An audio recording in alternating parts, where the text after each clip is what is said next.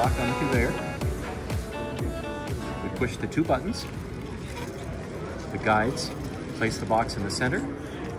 This diffuse detector detects the box, activates the robots, which then transfer arm to arm, and the part will finally end up in this box here. So I wouldn't, I wouldn't. Here's a helpful little nudge from one to the other. Softly carry your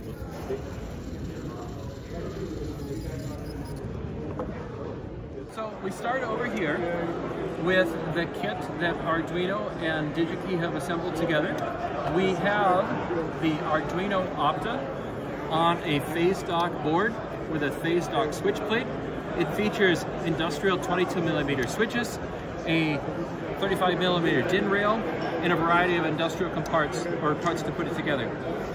You'll notice it doesn't have any fancy wire duct or other wire markers on it, and that's done intentionally.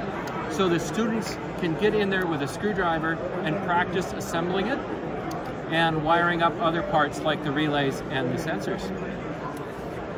The way it works with regards to the conveyor is we have a sensor. This sensor will detect the presence of a box.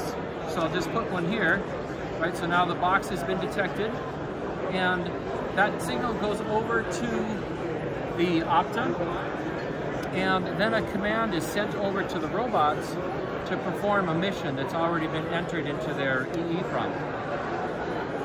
So sensor over back to the Arduino, from the Arduino via serial line, an RS485, to the robot controller, which is another Arduino, and it will start mission number one, and it'll perform the operation we just saw. So let's go ahead and look at that one more time. So I put the box on. You'll notice we have these guides. We have a two-finger safety. The part is aligned. It's detected by the sensor, and the robots take over.